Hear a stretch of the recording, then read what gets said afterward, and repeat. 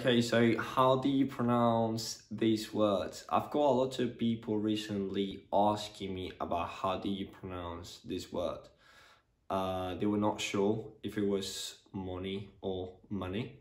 It depends a little bit on the accent though, but we are talking about British accent, you need to use the uh sound. So it's money, money.